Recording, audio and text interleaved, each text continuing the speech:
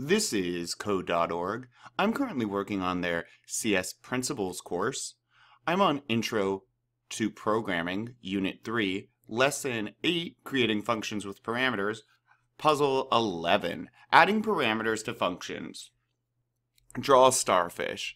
We want to make our picture more interesting by adding some variety. Currently, the draw starfish function can only add a starfish of size 60. Okay, Add a parameter to the function definition for starfish that allows you to control its size, like the draw starfish size. And this word here, size, is the name of the variable.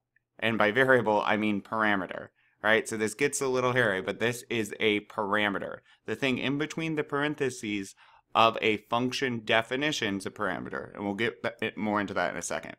Make sure your parameter has a descriptive descriptive and meaningful name, and that's important for keeping track of how a, a, program operates.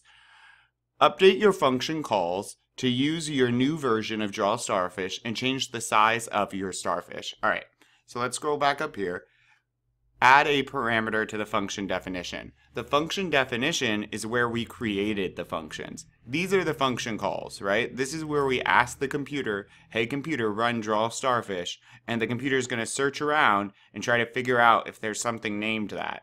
Oh, draw starfish. It then drops in and runs all of this code in this function, and when it hits the bottom, it then goes all the way back here to where we called it and runs the code beneath it.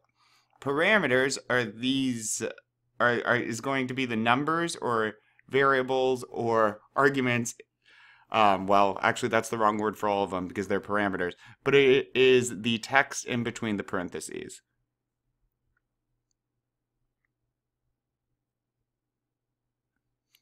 So, starfish, right here, I'm going to hit over and a box should appear for you, right? And I'm going to steal their idea and just use size because we are going to be controlling the size of our starfish.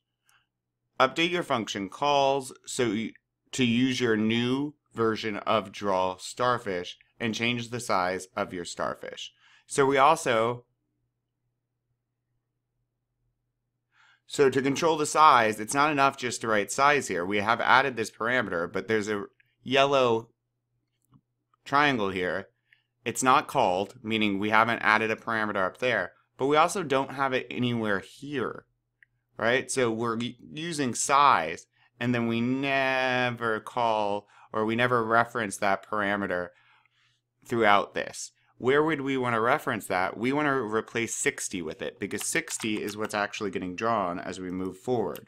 And instead of doing 60, we want our turtle to move forward the amount that is specified when a function is called, when someone asks it to run.